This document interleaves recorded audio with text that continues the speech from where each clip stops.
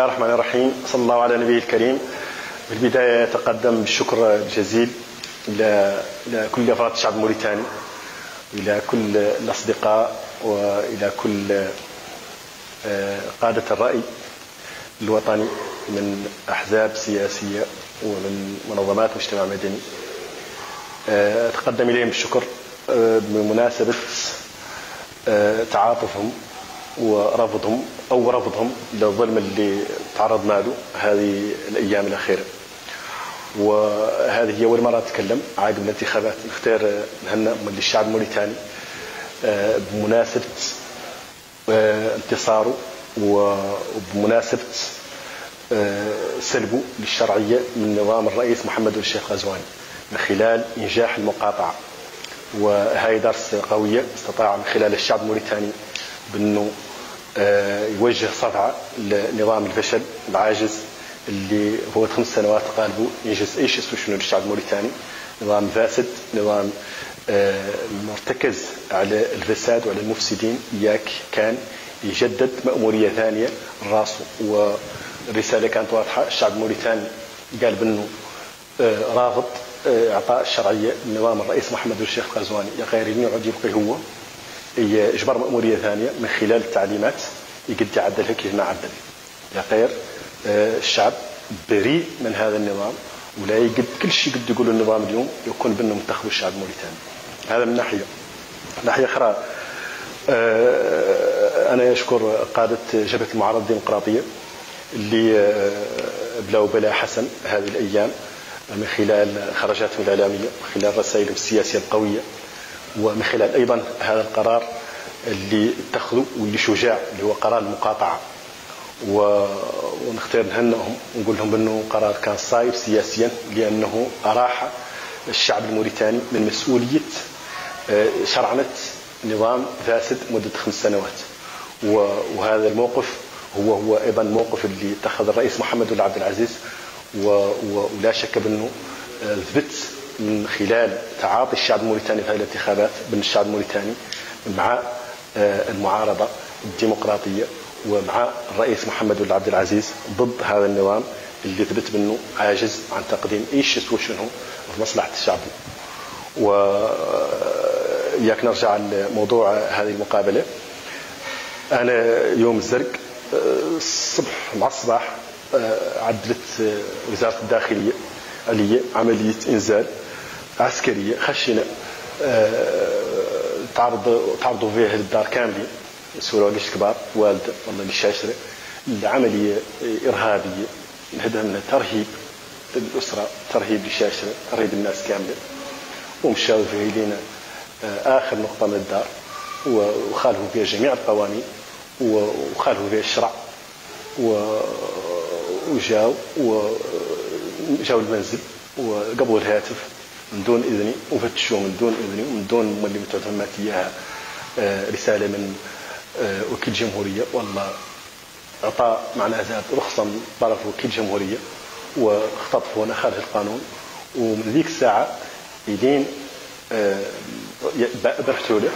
نحن هوتنا عشرة أيام خارج آه، عن خارجين عن التغطية ما نعرف نحن علاش مكردة ما نعرف السبب اللي وسام يكردون هو شنو ما نعرف الجريمة اللي ارتكبنا هي شنو هي.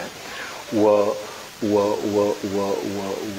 ولا شك بن خلال من خلال بعض الطاعات للتحقيق معنا كيف جانا لمدرسة الشرطة جانا محقق وسولنا عن أنشطة جبهة المعارضة الديمقراطية وعن اتخاذنا القرار المقاطعة شنو هي حيثياته وشرحنا لهم الطريقة الأسباب اللي جعلتنا نتكونوا كجبهة معارضة وشرحنا لهم اللي الأسباب اللي جعلت كل هؤلاء القادة الشجعان يجابروا ويتوحدوا ضد هذا النظام.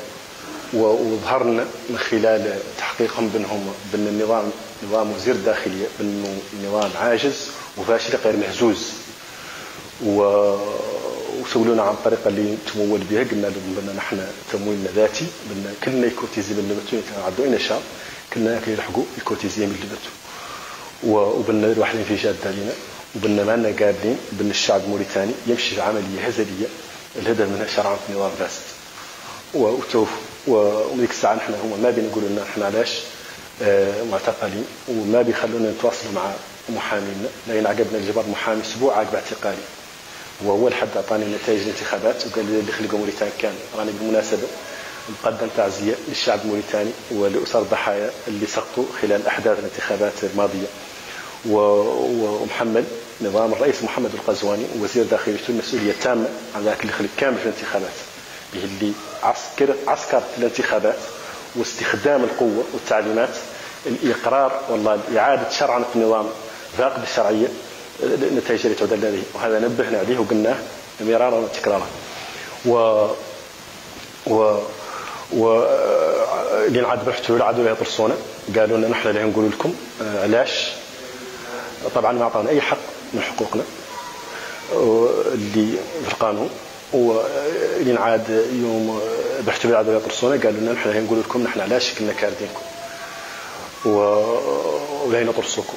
وقالوا لهم كاردين على أساس بن عاقب لينا آه، طرح الرئيس ملفه الرئيس محمد بن عبد العزيز ملفه عند المجلس الدستوري بن صدر الدعوة من طرف رئيس الجبهة جبهة التغيير الديمقراطي اللي هو عضو في الجبهة جبهة المعارضة الديمقراطية. ذاك ذاك ذاك ذاك تصريح قالوا هما بأنه في دعوة للانقلاب.